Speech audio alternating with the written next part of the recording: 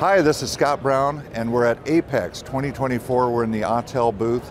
I'm with Motor Age Magazine, and I'm here with Mike Flink with Autel, and we're talking about the MS 906 Max. This is a new tool, has a little bit larger display.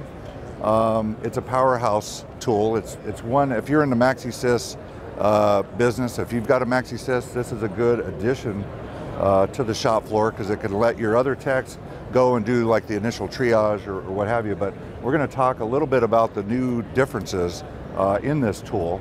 And the first thing I wanted to point out, the thing that I really like on the smaller VCI here, because I've had VCIs left in a car before, is that when you're done with this session, it, it makes some audible noises and reminds that tech to, to pull that out of the car. So that's a, that's a great, uh, a great feature. But Tell me what's what are the key indicators here, or what are the key differentiators here uh, be, from where we came from? You bet. So we came up from our 906 Pro.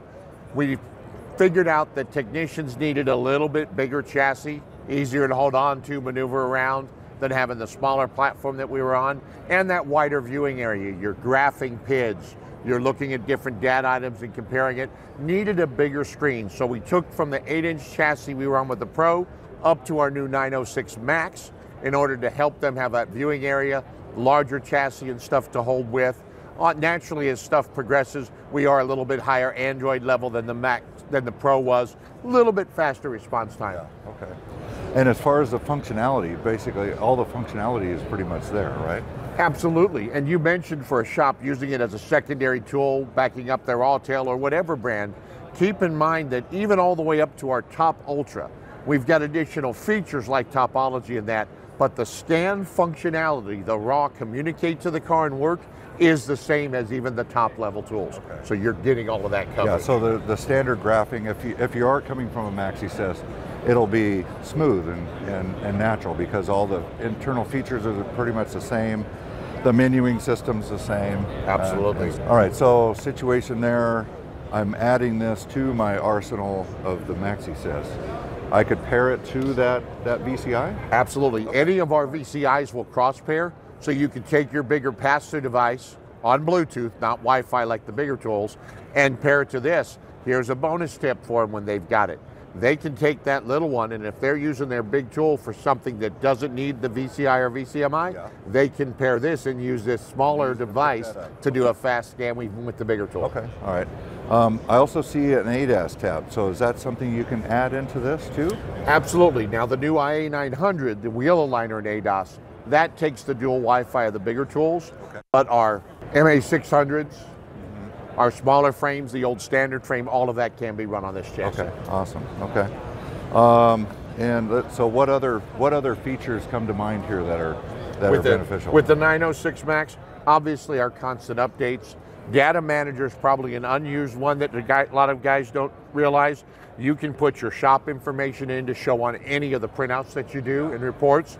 You can store vehicle and customer history and relate the two together so that you can automatically look back at an individual customer's different cars they own and history on them if you're having to do whether it's warranty repeat work or just make sure what the last repair was. Yeah, that's that the custom setup on the reporting. I, we do that on all of our stuff. We had our little logo for our shop, so now when we produce that report, we, we give it to the customer. It's got our branding on it, so that's that's uh, absolutely. Uh, that's Another feature of our tools gets underused is the remote desktop. That's powered by TeamViewer. We use it with a paid-for commercial account to help in the tech support world where we can actually dial into a tool, help them operate or identify what the problem is.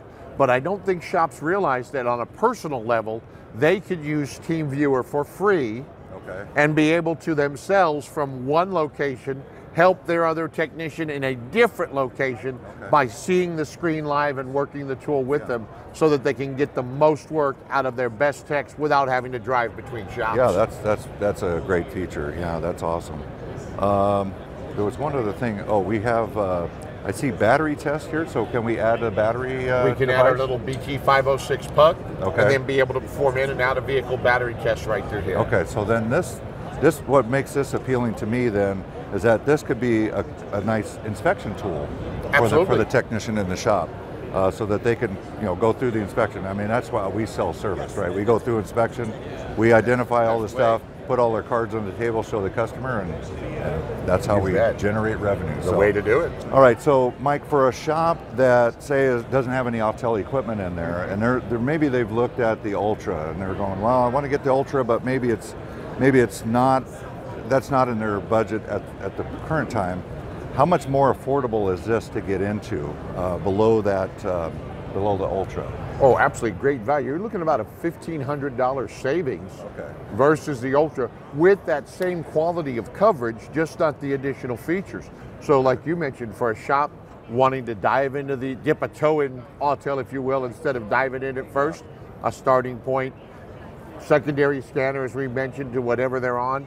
For the technician in the shop, who the shop may have the big tool, he can't quite make that jump for himself. Great tool for him as well. Okay, and then there is a pathway. So uh, if you didn't decide to get the Ultra, right, then there's some, some cross functionality here. So you, we've got the small VCI here, but if you wanted to use some of the other functions that required the other VCI, you could easily pair the two. You could easily do that and use that smaller VCI with your big tool has a fast scan access. So yeah, this is a pretty nice, uh, nice setup. Thank you for your uh, review. I really appreciate that. Thank you, Scott. And, Pleasure uh, always. Look forward to uh, seeing what the future brings, right? You bet. it's coming.